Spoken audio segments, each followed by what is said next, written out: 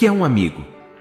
Amigo é aquela pessoa para quem você abre o coração, sem medo de ele puxar o seu tapete e apunhalar você pelas costas.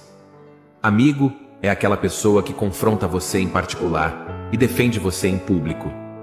Amigo é aquele que se aproxima de você, não com interesses de explorar esta ou aquela vantagem, mas pronto a servir você.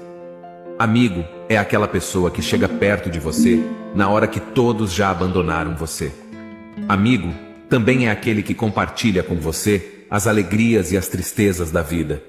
Amigo é aquele que ri com você das coisas engraçadas e chora com você das coisas dolorosas.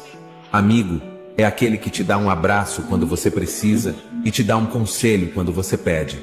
Amigo é um presente de Deus para nós. Amigo é uma bênção para a nossa vida. Amigo é um tesouro que devemos cuidar com carinho e gratidão. Amigo é uma raridade que devemos valorizar e respeitar. Amigo é um irmão que escolhemos para fazer parte da nossa família. Amigo é tudo isso e muito mais.